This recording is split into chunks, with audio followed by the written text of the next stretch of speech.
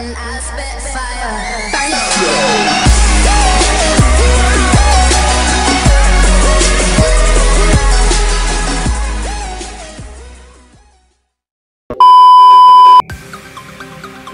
welcome back to my channel Panscraft Video. Kali ini saya akan membagikan tutorial cara membuat skin 3D di Minecraft. Tapi sebelum itu, pastikan kalian sudah like video ini dan kalian juga subscribe channel ini.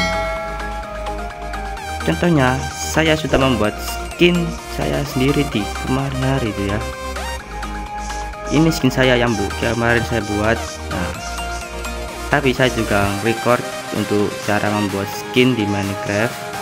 Supaya kalian tahu ya cara membuat skin 3D di Minecraft itu bagaimana ya oke nggak bakal lama-lama langsung saja kita ke videonya. Oke langkah pertama kalian buka aplikasi Google kalian.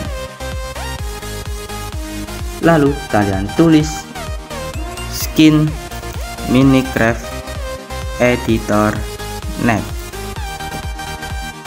Lalu kalian klik yang paling atas sendiri.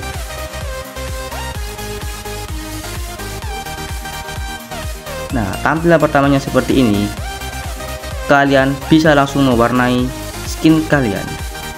Terdapat 8 kolom. Itu warnanya bisa kalian ganti sesuai keinginan kalian ya. Bisa kita ganti ke ungu hijau kuning ataupun merah. Kita mewarnai ya. Kegunaannya penghapus ini untuk menghapus. Tapi penghapus ini tidak bisa dihapus jika kita tidak mewarnai bagian overlay-nya atau pixel tambahannya ya.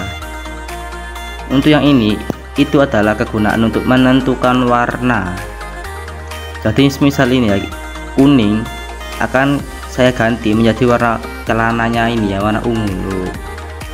Berubah warna ungu kita bisa ganti ke warna-warna lainnya ya. Jika kita kasih ganti ke warna biru ataupun coklat itu kegunaan dari pensil penyesuaian warna ya. Nah lanjut untuk ke body dan overlay. Ini gunanya untuk mewarnai bagian dalam skinnya. Seperti ini ya kan kita tidak bisa mewarnai bagian dalamnya dari badan itu karena ketutup tangannya.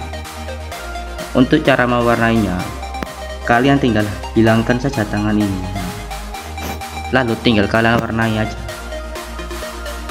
Nah itu kegunaan dari body dan overlay ya untuk menutupin nah, untuk bagian bawah kepala juga kita bisa warnai. Lanjut ke overlay. Overlay itu seperti blok tambahan atau pixel tambahan ya.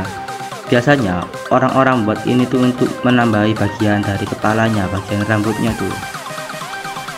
Kebanyakan orang-orang menambahkan overlay itu di kepalanya atau di rambutnya ya. Seperti ini nanti hasilnya untuk contohnya saya akan menggunakan skin saya untuk lebih detailnya.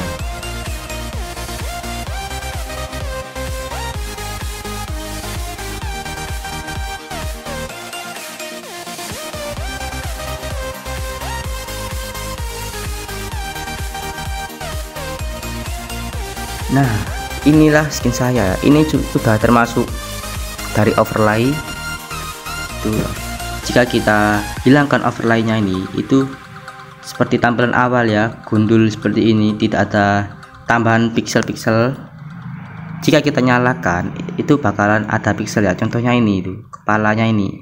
Ada penutup kepala dari bagian baju dan juga ada tambahan untuk bagian rambut di tangannya juga seperti itu ada tambahan ini nah itu kegunaan dari body dan overlay sebagai untuk tambahan pixel.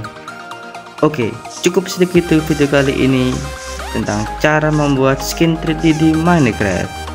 Jika kalian suka video ini pastikan kalian like share video ini dan kalian subscribe channel ini